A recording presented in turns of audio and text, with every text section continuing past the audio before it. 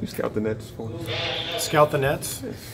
That's not my job. my assistant, Jarron Collins, has the Nets. Uh, I'll give you my assessment, though. Um, watching them the last year and a half has been impressive in terms of the culture that's being built. Um, these guys play with great energy, um, passion. They're playing fast. Um, I'm impressed with what Sean Marks has done in terms of um, maybe having the worst hand to play with as a GM of anybody in the history of this league. May, that may be hyperbole, but I, I don't know if I could find a, another example of a guy taking a job with a, a bad team with no draft picks. Um, and yet, um, he's hired a great coach. Kenny's doing a great job. Uh, I mentioned the culture. You can feel it. You can you can feel when you play them. They play with energy and passion, and so they're building something. Um, and obviously, it's going to take more time, but it's uh, there's a foundation being laid. I can see that. Coach, Coach Atkinson just said that your offense may be the best he's ever seen, maybe the best of all time. What, what was it that made this the perfect combination of talent and chemistry that made um, it? Maybe so? like four Hall of Famers on our roster. That might have something to do with it. Um, no, I think um, you know we're obviously very lucky with, to have the roster that we do.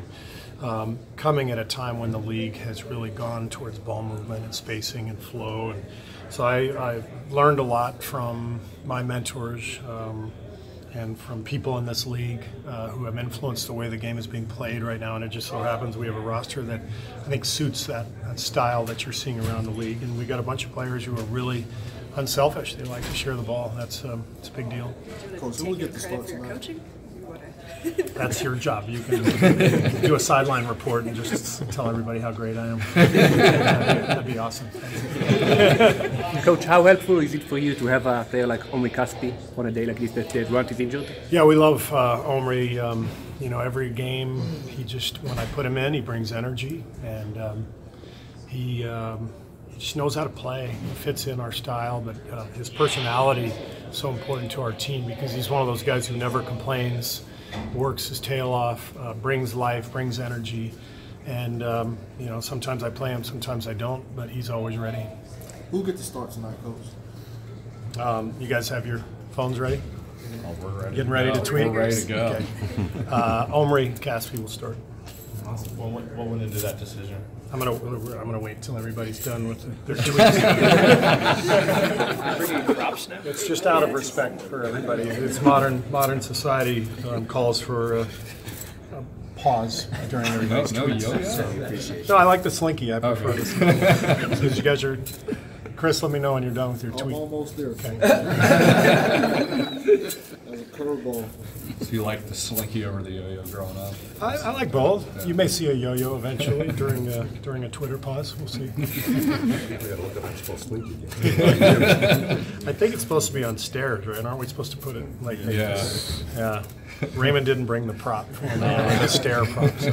All right. I'm, I'm coach, coach. What's that? You want to about that, about that yourself? Raymond did. Raymond, Raymond and I collaborate on our skits and bits.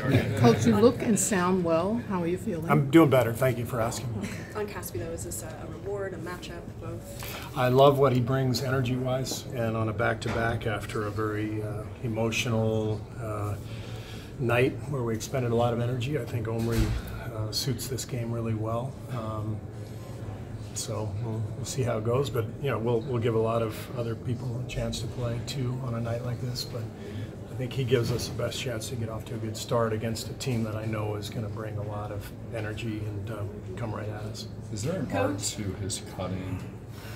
It's just an awareness. It's just a, um, an ability to see the game and anticipate things before they happen. And he's um, among the best in the league and uh, so the thing I always feared about him, coaching against him, was he's going to back cut us to death. And the way we play with the floor open, um, that kind of cutting not only leads to layups for him, but you know you, you take the defense with you, and now the, the backside of the play is open, and somebody's getting a three because of Omri's cut. So um, yeah, he's perfect for us. Coach, will you watch? What I would like to say about Zaza Pachulia, I'm kind, I'm from country Georgia. It's very important for us, and yeah. we support him, and we would like to know about him from you. Well, uh, Zaza is, um, I don't know what else I can say about Zaza in terms of what he does for our team. Um, his toughness, his intelligence. Um, he's a, a great teammate. Uh, he plays so hard every night, and competes. Um, his his two boys are our ball boys on this trip, and they're awesome. We love the we love the Pachulia kids. And uh, Zaza told me last night uh, after losing in Boston, and then we were down 20 at halftime last night. He said if um, if we didn't win this game, he was going to FedEx his kids back to the Bay. So glad we won, so that uh, he didn't have to stuff the kids into a FedEx box and ship them home. He's the best. We love Zaza.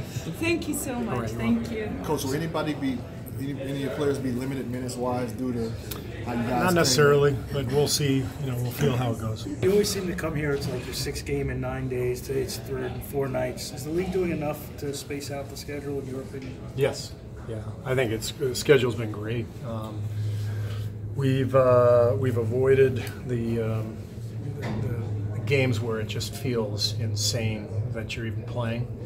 Um, this is not not too bad, really. I mean, it's uh, yeah, it's third and four nights, but it's um, you know we get two days before our Oklahoma City game. It, to me, it's usually that you know the and the thinking back uh, to last year even it's those, those stretches where you go like four and five nights or you know, um, you know tr- crazy travel and all of our travel here on this this trip is very confined to the northeast and so we're getting plenty of sleep I, I think the league has been brilliant in the, in the schedule making You think that the way that they've done that this season will make the new rules that they introduced about resting less, uh, I don't want to say less relevant, but less of an issue for Yes, you guys? one hundred percent.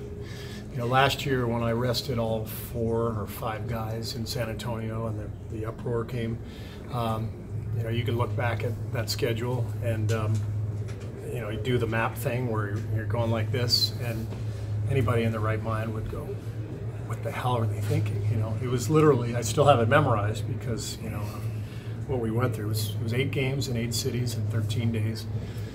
And I don't know, I don't remember the mileage, but it was two cross country trips. And we arrived, we had a back to back Minnesota, San Antonio. On this, it was insane.